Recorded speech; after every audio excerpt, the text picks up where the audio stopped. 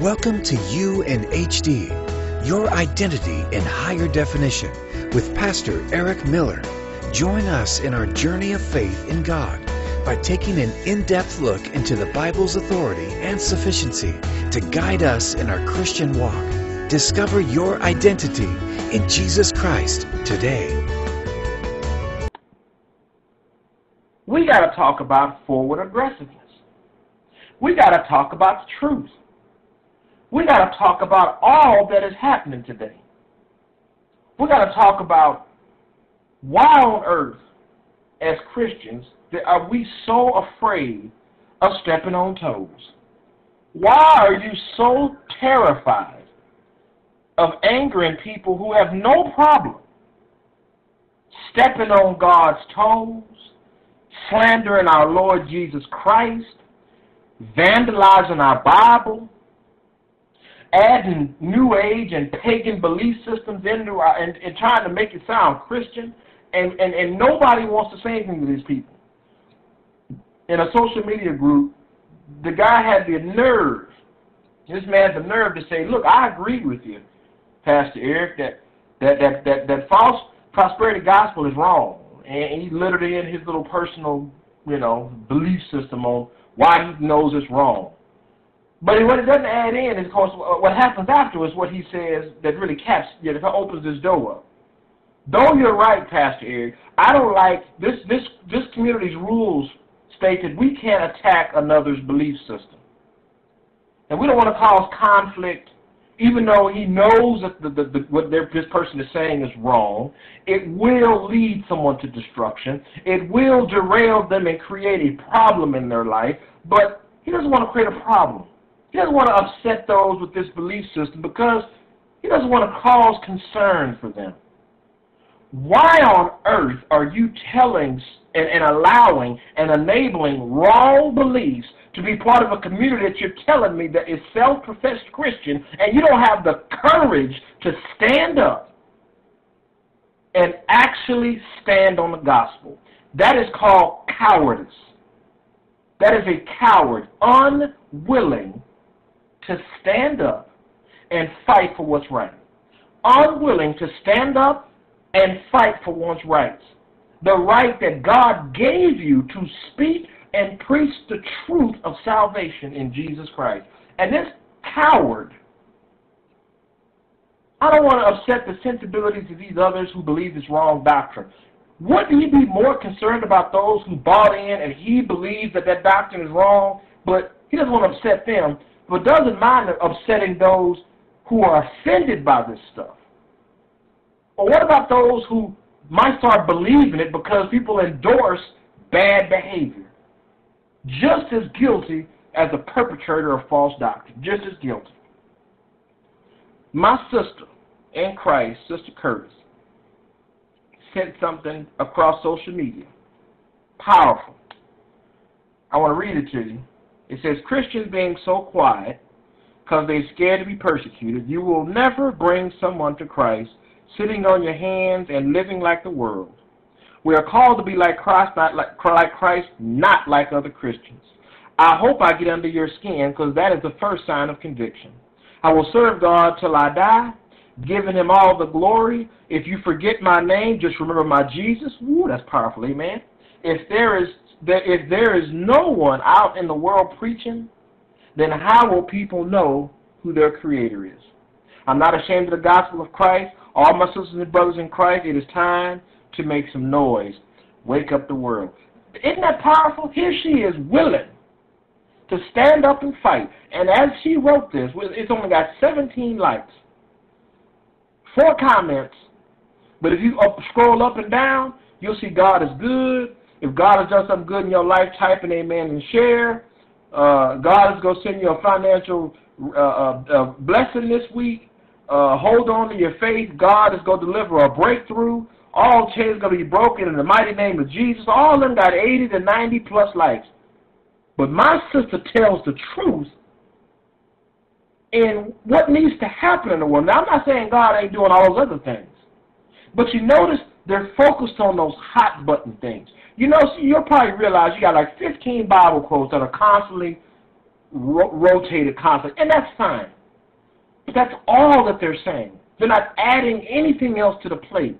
It's always bacon and eggs, bacon and eggs, bacon and eggs. There are 66 books in the Bible, and I'm sure the Holy Spirit has not run out of things to talk about through 66 beautiful, great books. The problem is there's no boldness in them because they're not allowing that boldness to shape their character. You cannot speak the truth when you're living in, in, in the sham that you don't want to offend nobody's sensibilities. You don't want to ruffle no feathers. You don't want to rattle a cage. You don't want to upset your, your, your family members who may be they may be gay or they may be uh, addicted to drugs and they may be out you know, womanizing and and doing everything you can think of, every sin imaginable, and they are satisfied with it. They can be atheists. They can be uh, Wiccans. They can be all kind of alternate cults, and but they just don't want to offend them. They could be Muslims. They could be Mormons, and they just don't want to offend them by us saying the truth of Jesus Christ. There's only one way to God, and that is through Jesus. I don't want to offend nobody. I want them to find their own way to their own idea. Of, I mean, just all kind of nonsense. You know what they're called? Cowards. Yes, I'm saying it. Cowards. Why such a strong word? Why why not just say maybe they're shy or maybe God has not lead them to speak boldly? There is not a preacher, teacher in our Bible that has not put and they risk their life to preach the truth. In the midst of people telling Christians, be quiet. Nobody wants to talk to you. You see on TV now the, the, the nice uh, packaged attacks against Jesus Christ. You got Modern Family. You got this new show, The O'Neals, and, and making fun of Christians. You got Family Guy, American Dad. You got uh, South Park. You got anything from Seth MacFarlane. You just anything that they can to make fun of the Lord, and it's so comical. It's great. It's funny, and and it's just it's so great. They want to make us the laughing stock of the world. Why? Why are Muslims cutting heads off of Christians? Mormons are safe. Why are cults safe from them? But we are on the chopping block. But only people that are only Christians on the chopping block are those who are willing to be persecuted. Like my sister said, Christians being so quiet because they're scared to be persecuted. Cowards. You don't want to tell your brother and sister that they're living in sin because of cowardice. You are more afraid of offending them, but you're not afraid for their soul going to hell. Your priorities are mixed up. Your priorities are backwards and twisted. You're not listening to God anymore. You're listening to some kind of sensitivity of the world. You're worried about microaggressions when you should be worried about hell's aggressive attack against your brothers and sisters. You're worried about offending people with your tone, but you're not afraid of them listening to the devil's tone when he's telling them, keep continuing in your sin and I'll keep rewarding you with this world. You are so concerned about getting your feelings hurt, but you ain't worried about your brothers and sisters getting their soul ripped out of them and going to hell. Your priorities are mixed up. You're so worried about not offending the pastor, but you're not worried about offending God. Your priorities are mixed up. You're not you're going to diversity training at your job, but you're not going but you're not renouncing and saying, "Look, I can't participate in that because it is against what my Lord and Christ and Jesus says you cannot participate in." But your priorities are in the wrong place for that. You figured out that you can't speak the truth at your job because it's more important that you earn a living than you earn your way into, into God's graces and His love by rescuing someone from the fire because your priorities are messed up. You're so worried about your reputation that you're not worried about Jesus Christ's reputation. Your priorities are mixed up. You're worried about trying to be a good representative of your job or your family or whatever perception people have of you, but you have forgotten you're an ambassador of Jesus Christ your priorities are mixed up. Your priorities are mixed up. When you place more emphasis on not trying to hurt someone's feelings, but you don't really care about where their soul ends up. That's a concern for me, brothers and sisters. That's a concern. It should worry you that someone is not doing their job right now. There is somebody that is allowing the enemy to take another light from heaven because someone is not doing their job. They're not trying to get under the skin and be the wretched filth of the world which Christians were back then. Versus the new modern Christian that got the suits and the nice cars and the nice homes, and you can't find a poor person around them. They're the ones that's basically mightily saying, you ain't sick, just denounce your sickness, and they still sick on Monday. They're the same Christians who are saying, I don't claim illness, I claim financial success and health and wellness, while they still broke. You, you, you see all this mess. A brother comes to you and say, I'm living in sin, and, and I, I still think God loves me, and I don't think I'm to go to hell if I keep doing my sins. And you're sitting right along and saying, well, if you're saved and you love Jesus, you're to be fine. There's no, if there's no conviction in his heart, and there's nothing that, that, that makes him want to repent, there's a problem. There's a problem there, and you don't want to deal with it. That's called cowardice. Let's read boldness. Now, the definition of boldness, by I looked this up through WordWeb, which is a free app. I think it's free app in the App Store, and I think it's also an Android store. A little shout-out plug for them because I use them a lot. Boldness, the trait of willing to undertake things that involve risk or danger. Now, some other things I pulled around the web to kind of pull it all together is forward aggressiveness and audacity, which breaks down to fearless daring. That goes into Ephesians 6, 18 to 20. My, I'm reading out of the Holman Christian Standard, but your Bible should read very similar. But let's go ahead and read. This is, remember, Ephesians 6, 18 through 20. Pray also for me that the message may be given to me when I open my mouth to make known with boldness, let's underline that, the mystery of the gospel. For this I am an ambassador in chains. Pray that I might be bold enough, underline bold again, enough in him to speak as I should. Let's examine boldness and bold, and let's add them words in there, like the Amplified Bible does so eloquently. So let's read, pray also for me for the message was given to me to open my mouth Actually, I read 19 and 20. I'm sorry, not 18 and 20, 19 and 20. So open my mouth to make known with boldness, to basically involve myself in risk and danger with forward aggressiveness, with audacity and fearless daring, to speak to the mystery of the gospel. For this I am an ambassador in chains. Pray that I might be bold, or pray that I might be willing to undertake and involve myself in risk and danger, and forward aggressiveness, and audacity, a fearless daring, in Him to speak as I should. Look at that. Pray that I might be bold enough in Him to speak as I should. Was Jesus Christ afraid to speak the truth if it hurt someone's feelings? No, sir, no, ma'am. And he says boldness in him, which means he's not relying on his personal strength. He's relying on Christ's strength. He's relying on his faith in Christ to give him the boldness to speak the truth. Paul's priorities was in the right place. So we got an answer. How do I, Pastor Erick, speak with boldness? You speak in Him. How do I tell someone that they're living in sin and the reason their struggles in life is happening this way is because they're sinners? By, by having boldness in Christ. Christ gave you His strength. Famous Bible quote. What is it? I can do all things with Christ that strengthens me. Why are you not using His strength? His boldness. When you believe you can't and don't you feel the, that, that, that fear that you should not have, but you're human. You're going to feel out of your comfort zone to confront someone because you know they're going to get upset with what you got to say. But I would rather upset them than have them comfortable in the devil's arms. I just would. I'm sorry. I, I'm, not, I'm not going to apologize for that because it is a fact. I'd rather someone hate me for the truth than hate me because they think I should have told them the truth when something went to hit the fan. Has anybody been in a job and a raise of hands would be great? Did you get in trouble for something that no one ever told you about?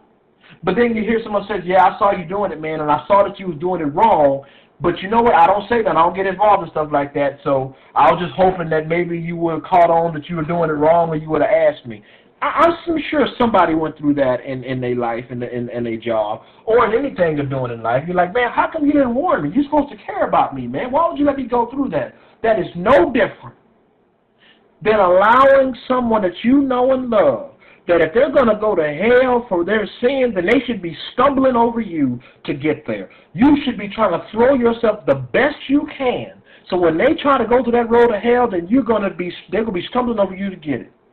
Now I ain't saying chasing after them. Lord did say get out of the way of a person chasing after sin. Now that's a different story. But I am telling you, they should have to leapfrog over you. They should have to stumble. You you should put some kind of kind of kind of hard J.J. Watt tackle on somebody and try to get them behind the backfield so you can say, look, man, you got to take a look at your life. You got to put some hands on somebody, some spiritual hands on them. I ain't talking about physically restraining. I'm talking about you got to put, remember, spiritual warfare, we don't fight with the flesh, but with spirit. We are attacking that thing that is driving them to hell. We want to get them, we want to get into their spirit. We want to get into their souls and say, look, the Lord Jesus can save you from the road that you are traveling, which is so wide, you they can't even see the size of that thing. They're shoulder to shoulder, comfortably, with every other sinner out there heading to the road of hell. If we don't try to get them off that road, we ain't doing our job. We've been given a very great commission. That's a great commission. It's great, it's beautiful, it's massive, it's powerful, and it's done one on one. One on one, the battle is done in the trenches. And where God has placed you is where you do your missionary work. At your job, at your cubicle, in your car, at your favorite restaurant, at your favorite ball game, at your favorite whatever social event that you attend, at your church. You can missionary in your church. Someone in your church right now does not have a personal relationship with Jesus Christ. That is a fact someone in your church has not is not saved and has doesn't even understand what it means to be saved, may be afraid to give their life to Christ because they've been let down by everything that they put their faith in. You have not understood there are people in church right now that you see every Sunday that are not saved, that it's missionary work. There's neighbors across the street that are not saved. There are family members in your family that are not saved. There are friends that, that are not saved, co-workers that are not saved, people that you running at the line at the grocery store that are not saved. They, when a person sees Jesus in you, they will ask and talk to you about the craziest of things because they see the beauty of Christ in you. Why on earth would that be the time that you cower down so you don't want to offend them by saying, well, I, I study Buddhism. What about you? I am a Christian, a child of the Most High. That says high and lifted up. Jesus Christ is my Savior. I have been, I am a convicted sinner, but I have been set free of the bonds because of Jesus Christ's sacrifice, and you too can be saved. When did we get so afraid to tell that evangelistic, powerful message? When did we forget the boldness in Christ is in us? When did we get our priorities so twisted that we're afraid of offending people without offending God? When did boldness become a problem? When did a Christian's voice needs to be his the tone needs to change for us to reach people? Let me tell you something. The volume needs to go up. Stay the course. I don't care, brothers and sisters, how many people tell you to change your tone because it offends them. Let it. I don't care what people tell you when you're talking about rhetoric. No, no, look, look. If if it's the gospel truth, if it has salvation, and it is with salt, and trust me, salt makes everything tastes better. Yes, it does. I don't care. Well, your voice should have salt in it. Last time I checked, salt has a bitterness to it, but it brings out flavor of something. The truth doesn't hurt anybody. When they say, oh, the truth hurts, let me tell you the truth. The truth opens up wounds to so it can heal the right way. It's re-breaking a bone to set it the right way. Your priorities is to mend broken things. And sometimes you got to re-break it because it was set wrong. Isn't that kind of what the Lord Jesus do every day? Our priorities were wrong. He sets them right. And every time we try to reset those priorities back to the things that's going to keep us in a condemned mindset that keeps condemning all of our actions and keeps us repenting every day over the same issues because we have not placed all of our faith in God. We've not placed our, our character in His hands so He can start shaping the things that are doing the most profound damage to us. We never get out of the blocks.